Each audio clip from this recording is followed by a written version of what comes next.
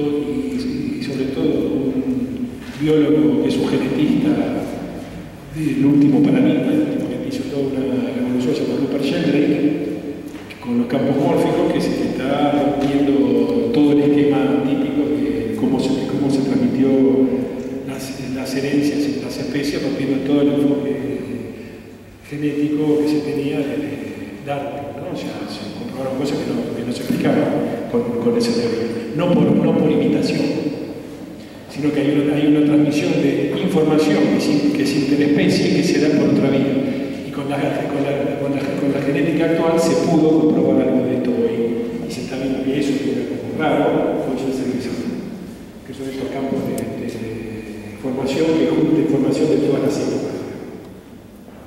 Salvo movimiento. Entonces, ¿qué sucede? Que en, este enfoque que empieza a ver los efectos de lo transgeneracional en mi sistema, empieza a investigar más ahí y empiezan a aparecer otras cosas. Entonces empiezan a descubrir cómo está compuesto un sistema. Y encontramos cuál es la primera ley. La, la eh, primera ley o el primer orden es el de pertenencia al sistema. Pertenencia al sistema que es todo elemento de un sistema familiar tiene derecho sí o sí a pertenecer. Repito, todo elemento de un sistema familiar, todo integrante de un sistema familiar tiene derecho sanguíneo, ¿eh? sí o sí a pertenecer. Lo haya conocido, no lo haya conocido, me guste, no me guste, me caiga simpático, no me caiga simpático, haya sido el turro más grande de asesino, haya sido loco, homosexual, petizo, gordo, chancho, se murió apenas nació, pertenece. Y muchas más cosas que vamos viendo que es lo que pertenece al sistema. Cuando uno excluye, ya empieza un desorden y un desequilibrio en el sistema de uno.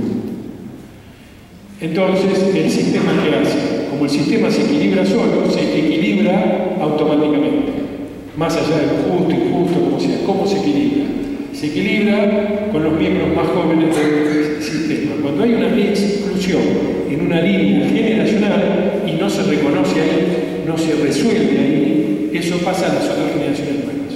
Y así sucesivamente.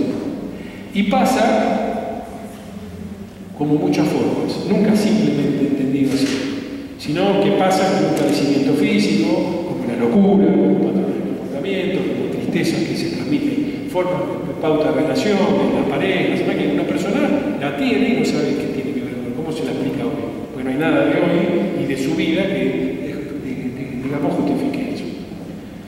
O pasa en una, en dos, en tres generaciones, cuatro, cinco, seis. Entonces, él empieza a descubrir también con esto, que es un aporte que se puede juntar en este primer orden, se lo junta, a veces depende de libros que uno lea de él y de los discípulos de él, que este primer orden, que es el de pertenencia, viene asociado también con el de jerarquía. O sea, junto con la pertenencia descubre otra cosa, que los elementos de un sistema no tienen la misma jerarquía. Y que la jerarquía que tiene en un sistema familiar es inamovible. Escuchen bien esto porque vamos a trabajar particularmente sobre este primer orden. Yo le voy a dar los tres, pero vamos a trabajar sobre este. ¿Cómo será la jerarquía? Por la antigüedad de pertenencia al sistema. O sea, ancestros, abuelos, padres, hijos.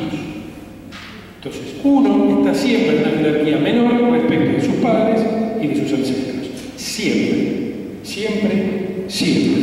Este es el principal desorden y más simple que hacemos en nuestras vidas y que tiene consecuencias en todas nuestras vidas.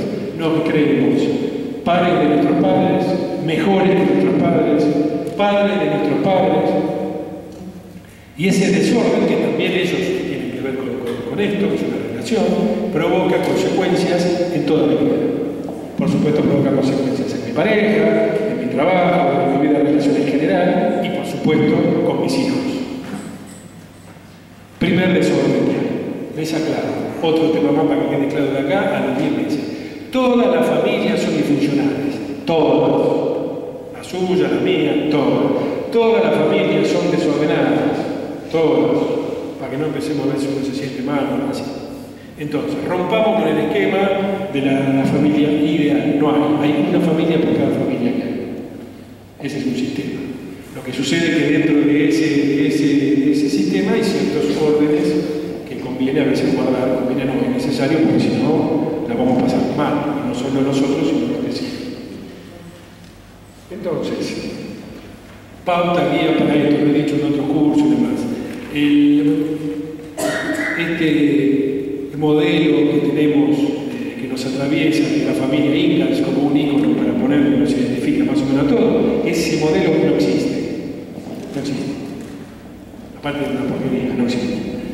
Es insoportable. Todos tan eh, armoniosos, sufriendo, se quieren tanto y no existe. Eh, el modelo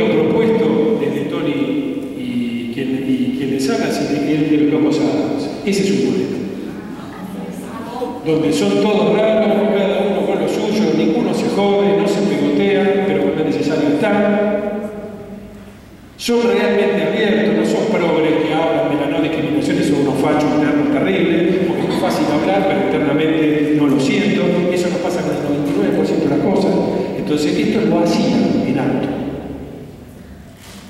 Ellos tenían a alguien como Largo, que no lo quería nadie. Largo no era malo, Largo era alto, feo y grandote. Entonces todo lo tomaban como un monstruo. Y era más bueno que el ácido, pero ¿qué pasaba? Nadie se le podía acercar. Porque tenía una mano así, era enorme, cuando quería que hacía el gesto, todo lo querían matar porque pensaban que se los iba a comer. El único lugar que encontró Largo fue en esa casa. Entonces, ese es un ejemplo para pensar que es inclusión, más allá de la bla, bla, bla, cosas así. Porque la ideología está bien, pero por acá dejemos un poquito fuera y intentemos trabajar con otras cosas. No digo que está en contra, cada uno tiene, tiene, tiene la suya respetable, pero el tema es que podamos hacer con. Entonces, este es el, este. Vuelvo a la explicación, esta parte. Bueno, en el tema de la jerarquía, entonces vimos orden de pertenencia, o sea, todos los elementos que pertenecen y tiene jerarquía distinta que es inamovible.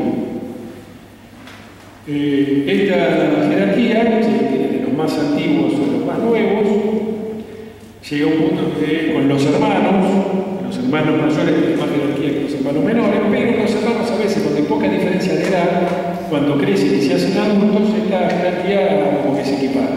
Y viene el otro tema que es la relación entre pares, que es una mayor cantidad de relaciones en nuestra vida, que es pares con nuestros amigos, con nuestro compañero de trabajo, con el, vecino o con la pareja con la cual tenemos intimidad, que ese es un tema. El tema, en la pareja surgen todos los sistemas. Todos los que estamos acá, todos somos hijos, si no alguno me dice, de un hombre y de una mujer. Todos.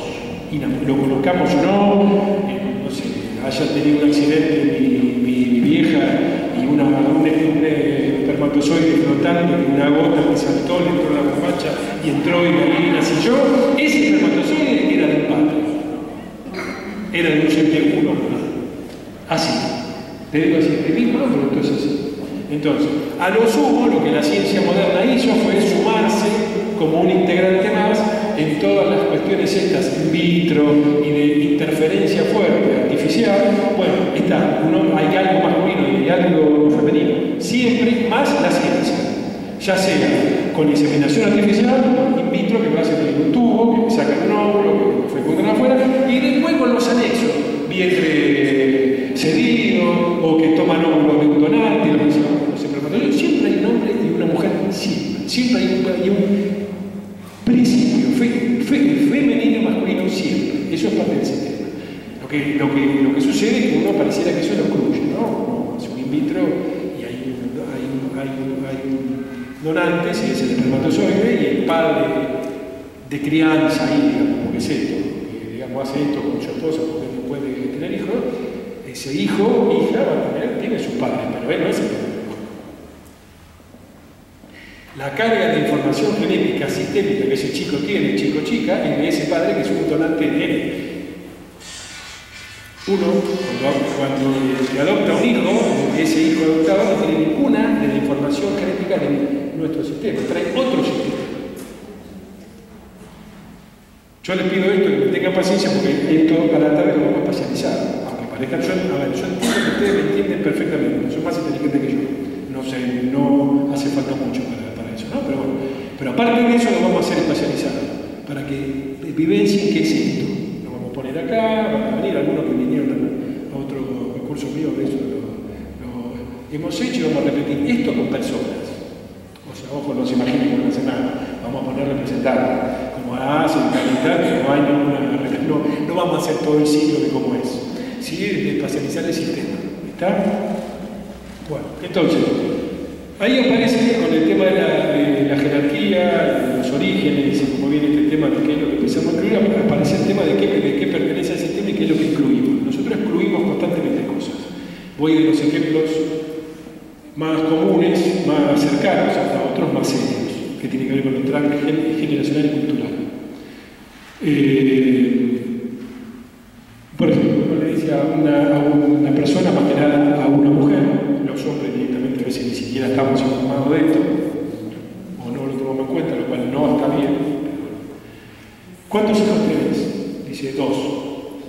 abortos, sí, tenés ilusión de tenerlos, tenés 5 hijos. Y hay que ver en qué orden tuviste los abortos respecto a tus hijos vivos. Entonces por ahí tu hijo cree que tu hijo menor que es el segundo hijo y es el cuarto de cinco, No es lo mismo. No es lo mismo. Por ejemplo, una cosa. También abortos que no sean voluntarios, por pérdidas. También. Entonces uno los excluye porque es una situación dolorosa, porque es difícil, por lo que pesa moralmente, por lo que significa para una mujer que pone su cuerpo, y toma la decisión, porque es así, la última decisión de hacerse, de hacerse un aborto es de la mujer. Y más allá que lo discutamos, podamos tener discusiones políticas, filosóficas, lo que sea, solo ustedes saben lo que significa pasar por ese momento. Y esto no es ninguna sanción moral ni nada, simplemente es cuando uno reconoce, integra el dolor ese y lo deja que realmente circule y de ese dolor hacer algo transformador. Si no, lo que queda es una culpa silenciosa, venenosa, que queda con un sufrimiento, con efectos enormes para la vida de esa mujer. Esto tampoco es nuevo, hay rituales africanos hermosos para sanar el vientre de una mujer. O sea que esto no es nuevo, nosotros lo sabemos hace tiempo y hace miles de años atrás no había el mismo contexto cultural, digamos, ni la misma sanción que podía tener hoy, digamos, de la iglesia. Nosotros vivimos finitos, pensamos que todo el mundo es los aportes cristianos, también, de la iglesia católica, con todo, eso tiene unos años, tiene unos siglos, había otra cultura, otras cosas, y esto también estaba visto. Entonces, digamos, ahí hay un punto de las, de exclusiones más Otra, eh, muy común también, y más que nada, ustedes lo, sabrán por sus alumnos, o por conocidos, o si les pasó a ustedes. Mi mamá con mi papá, no sé, me estuvieron a mí mi viejo se fue. Nunca más lo vi. No, no. Así que yo no, no, no tengo papá. Mi papá es ese señor, el quinto novio de mi papá. De, no me tuvo otros cuatro antes, pero con ese día con este quinto lo tuvo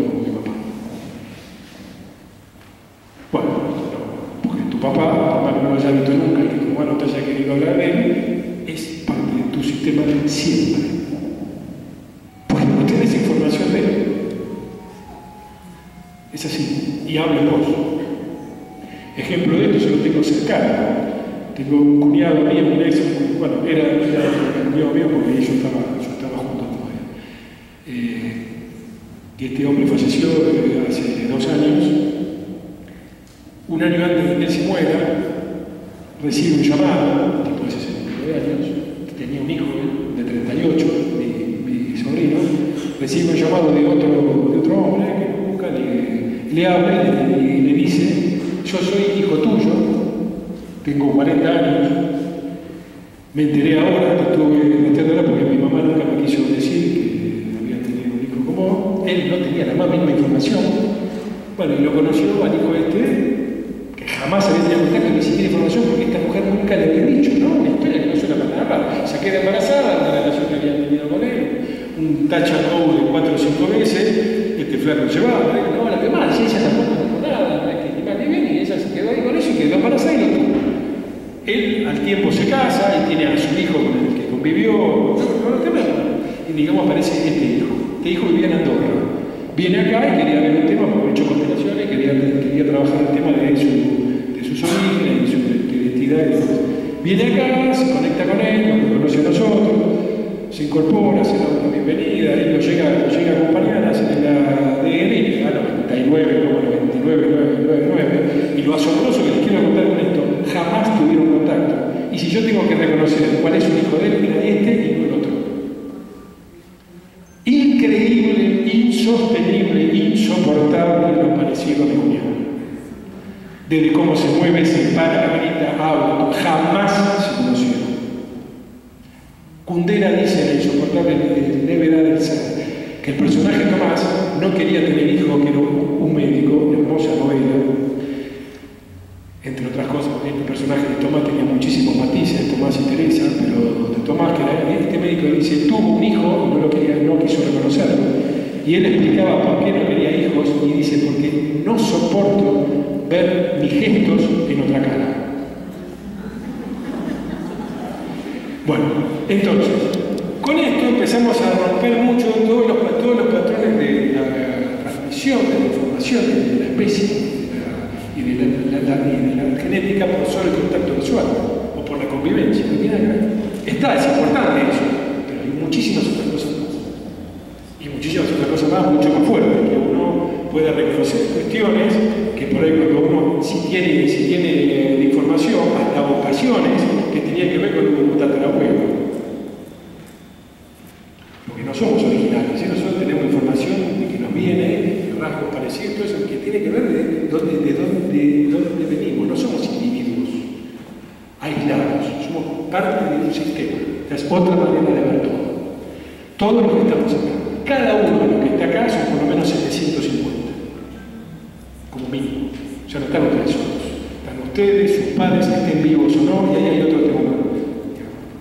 Otra cuestión que descubre que los miembros del sistema no son, bueno, de traje nacional se ve, ¿no? no son los, los, los que están vivos, sino los que están muertos. Entonces uno lo sigue llevando dentro de sí. Entonces también incorpora toda esta dimensión de la gente, de la gente fallecida, cercana, conocida, tal.